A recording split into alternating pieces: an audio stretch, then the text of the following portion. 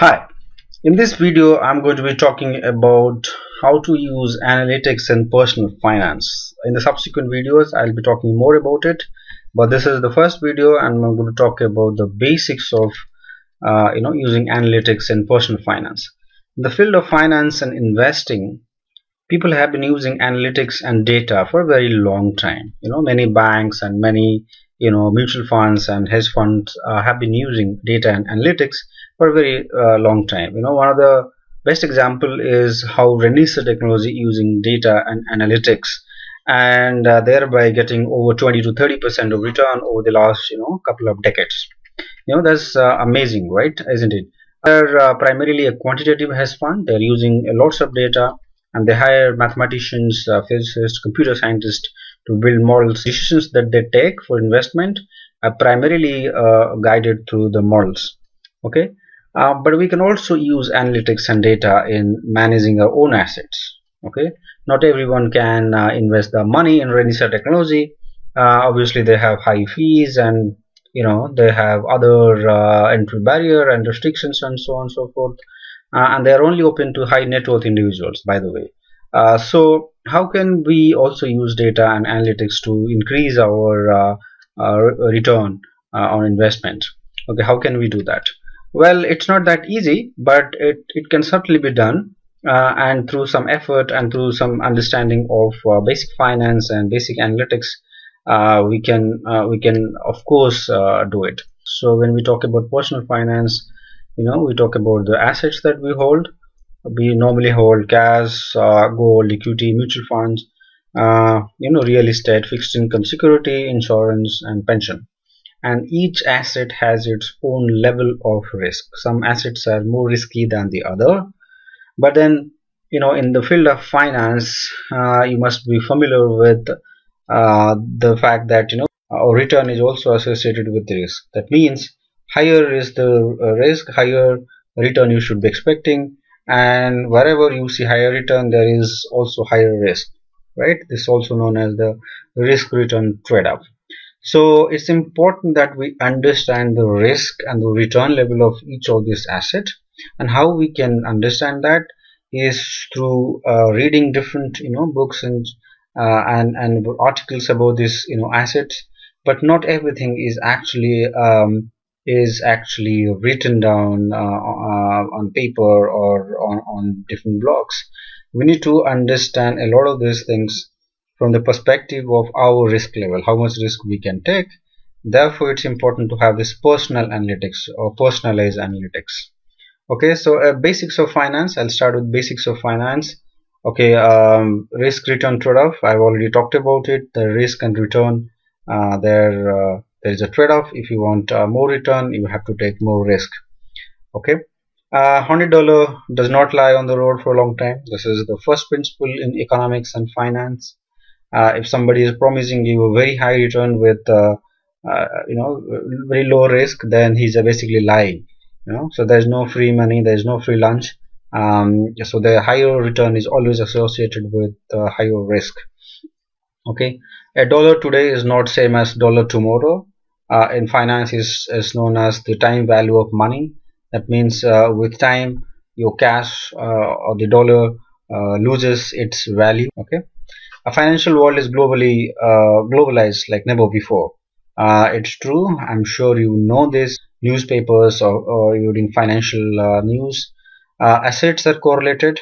Uh, not many people know this, but assets are collect index return, uh, top performing equities, top performing mutual funds, like you know whatever data available publicly, you should be able to you know collect that. So that's that's good.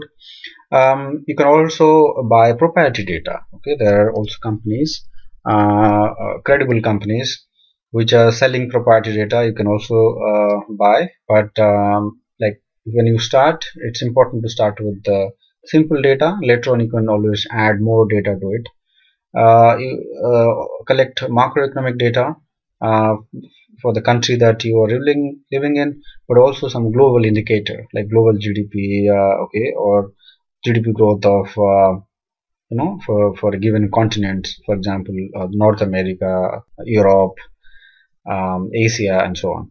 Personal spending and saving data if you have that data for a long time it is always good to properly uh, you know create a data set for that that always uh, is helpful. So what kind of data analytics that you can do? Okay there are two types uh, basic analytics and then somewhat more advanced analytics. Okay the basic analytics would be simply you know uh, summarizing the data okay as much as possible through segments and so on. Uh, you can compute the mean median mode uh, you know you can have box plots different visualization of uh, your data. So uh, yeah so you basically explore the data as much as possible using tools and using statistical uh, you know techniques. So the summary statistics is very important. Um, you can also use uh, trend graphs. Okay so trend graphs are basically the time series plots right? And uh, investment is more about how a particular asset has done over a period of time right? So it's always good to uh, collect um, as much data as possible and and as uh, old as possible. That means if you can collect 10 years of data or 20 years of data it is always good. Um, so you know plot the trend and see how the return is. Um, you can also build uh, uh, regression models okay to understand important relationship okay. Uh, as you might know that regression models are models where you have a dependent and set of independent variables and see how your return is dependent on other variables okay? Return on other uh, asset or other macroeconomic uh, variables and so on okay? You can also build prediction models right? Simply you know use as much data as possible just to predict uh, uh return or predict uh, you know whatever event of interest you want to know in future okay? But ensure that you know uh, ensure that you you test your models properly before you use. That's important. You can also find lots of uh, pattern and um, or you can also uh, do anomaly detections just to see the important pattern in the uh, in the financial uh, data that you have with you and that you can use uh, for better decision making. So these are some of the simple analytics little more advanced would be you know using portfolio optimization techniques such as the uh, linear programming and the nonlinear programming. Um, you can use sentiment analysis uh, yeah natural language processing and this this stuff. These are more advanced. Um, you can start with the basics and then when you're comfortable with the basic techniques then uh, move to the more advanced ones alright what are the tools and languages that you can use? Uh, Excel is a very popular tool for personal finance. Many people use it. Uh, but Excel has its own limitation. Is to ML machine learning library also in uh, Excel. Except maybe regression you cannot do much with Excel. But with Python, R, SAS or SPSS or even general purpose programming languages such as Java, C++, JavaScript offer you a lot more uh, flexibility or a lot more packages uh, built-in packages where you simply you know import them and use uh, for your own uh, purpose. Okay so these are some of the tools uh, you can use. Some of the best practices. Well gather as much data as possible. The more data you uh, gather the better models you can build and the better decisions you can then take. Collect data from reliable sources. Do not collect data just from everywhere ensure that you know you collect data from reliable sources like yahoo finance or google uh, finance. Um, is one good source. Uh, in your respective country you must be having your own you know uh, stock market data. Uh, like in India you have the uh, NSE and BSE data on the website. You can get macroeconomic data from the central bank website. You can get data from IMF's or World Bank's website. So these are reliable sources so ensure that you get data from reliable sources. Clean your data properly. Okay that's important that if you don't do that then it's prone to error. Uh, start from simple techniques. Uh, don't simply you know start building machine learning models. Uh, you know the first thing should be simply collect your data and you know uh, do uh, the basic exploratory data analysis like summarize your data just mean median mode you know plot some uh, uh, date you know basic scatter plot line plot things like that or box plot um, and test your code techniques before you use um, so ensure that it's properly tested. There shouldn't be any error uh, whether it's uh, you know data selection whether it is building a model it should be free of error. So you should uh, you know uh, test it properly right?